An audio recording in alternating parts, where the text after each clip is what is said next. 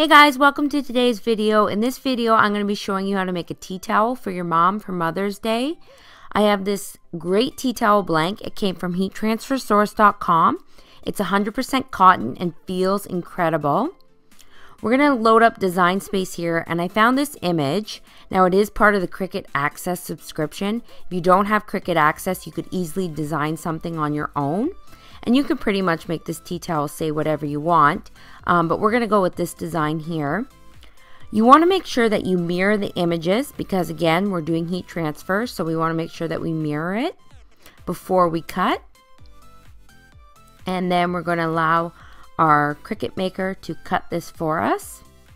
I'm going to be using three different colors here. So I have this deep pink color that came from heattransfersource.com. I'm going to place it on my mat put it through my Cricut Maker, and we're to cut.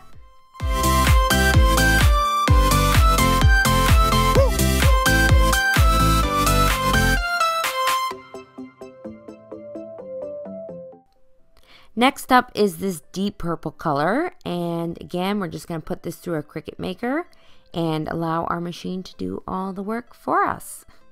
After the deep purple though, I thought I wanted to switch things up a bit and I really wanted this tea towel to pop. So I have this fun holographic vinyl and again I got this from heattransfersource.com. It, I think it's really going to provide our project here with just a nice pop and a shimmer and shine. I do want to mention though that before I cut it, I switched up my settings and I switched it to glitter iron on. I find that the uh, holographic from Heat Transfer Source is a little bit thicker. So I just want to make sure that my machine cuts all the way through the holographic heat transfer vinyl.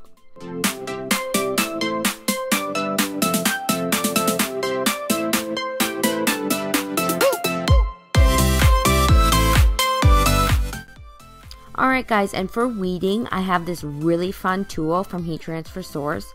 It's called the Tweedy Lite tool, and you'll see it has this light at the end here that makes for super easy weeding.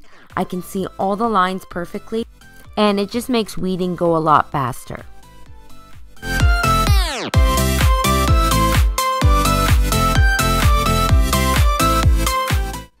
Alright, so before we press our design onto our tea towel, we want to just make sure we preheat our material. So I'm just going over this with my heat press for about 15 seconds just to heat up the material um, before we press our design on. Next, what I'm going to do is I'm going to put down the first layer, which is home and mom. That's the holographic vinyl. We want to place that layer down first. And again, I'm going to press this at 330 degrees Fahrenheit, but for 30 seconds.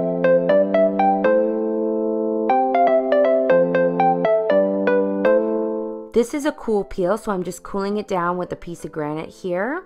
It's my little cooling block and we're going to remove the transfer tape. And then after I remove the transfer tape, I'm going to put down the second part of the design, which is the is and the little heart. So I'm going to line that up. I want to make sure that I put my piece of transfer tape from home and mom back over top so that I don't wreck the holographic uh, heat transfer.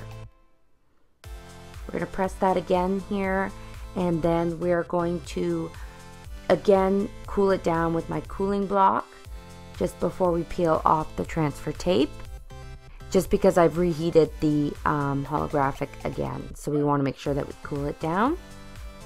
And then we're going to press down the last part of the design, which is the where and the um, little accents there in the deep purple.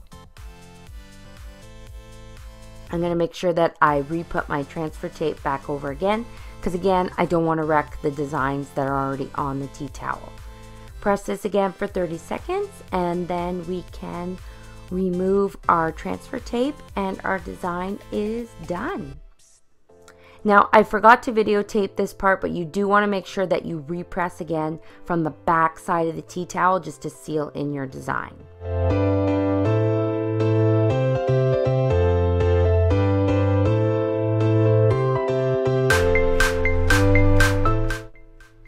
Now you can see how easy it is to make your mom a perfect tea towel for Mother's Day.